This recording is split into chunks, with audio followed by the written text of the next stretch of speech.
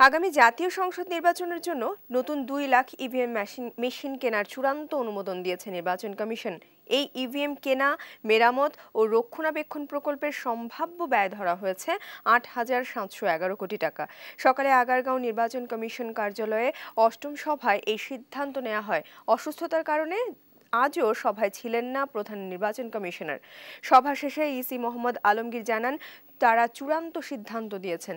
এবার এটি পাঠানো হবে পরিকল্পনা মন্ত্রণালয়ে। এর আগে গত মঙ্গলবার ইভিএম নিয়ে খসড়া সভা করে কাজী হাবিবুল আওয়াল কমিশন, যেখানে ইভিএম এর বাজার দর যাচাই বাছাই সম্পূর্ণ না হওয়ায় সভাটি স্থগিত করা হয়।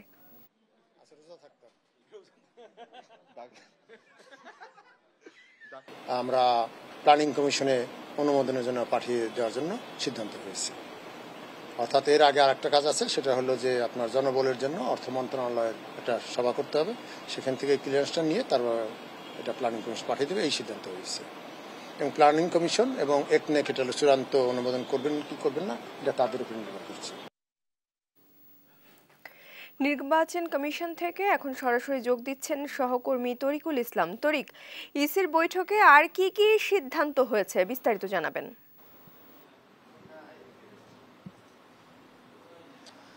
প্রিয়াঙ্কা, ধন্যবাদ আপনাকে। আমি এখন আছি রাজধানীর নির্বাচন কমিশন কার্যালয়ে। এর আগের সংবাদে ঠিক যেমনটা বলছিলাম যে আগামী জাতীয় নির্বাচনে সর্বোচ্চ দেড়শো আসনে কিন্তু ইভিএমে ভোট করতে চায় নির্বাচন কমিশনের এবং সেই লক্ষ্যে কিন্তু কমিশনের পক্ষ থেকে কিন্তু কমিশন সভা ডাকা হয়েছিল এবং সেই সভা শেষে কিন্তু গণমাধ্যম কর্মীদের সঙ্গে কথা বলেছেন এসি আলমগীর।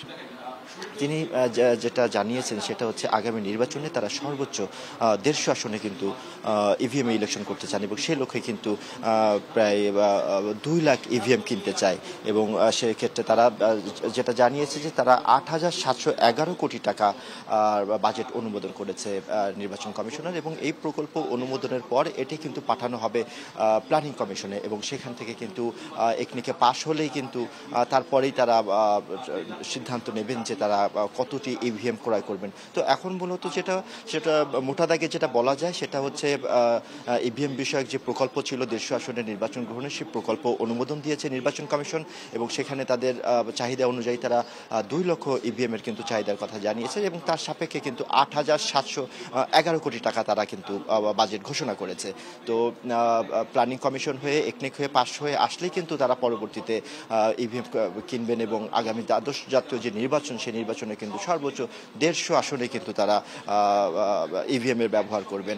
আপনাকে জানিয়ে রাখি, এর আগেও কিন্তু গত সপ্তাহে মঙ্গলবারে কিন্তু এই কমিশনের পক্ষ থেকে কিন্তু একটা কমিশন সভা বসানো হয়েছিল। তো সেখানে কিন্তু একটা কমিটি ছিল। সেই কমিটি কিন্তু পর্যাপ্ত তথ্য উপাত্ত সরবরাহ করতে না পারার ফলে কিন্তু সেই কমিটি সেই সভাটি স্থগিত করা হয়েছিল। এবং সেই স্থগিত সভার পরিপ্রেক্ষিতে কিন্তু আজকের এই সভাটা অনুষ্ঠিত হয়েছে। এবং এই সভার মাধ্যমে কিন্তু তারা সিদ্ধান্ত নিয়েছে যে আগামী নির্বাচনে তারা দেড়শো আসনে ভোট গ্রহণের ক্ষেত্রে কিন্তু দুই লক্ষ ইভিএম কিনতে যাচ্ছে। তো নির্বাচন কমিশন কার্যালয় থেকে এই ছিল আমার কাছে সব শেষ প্রিয়াঙ্কা। তরিক আপনাকে ধন্যবাদ।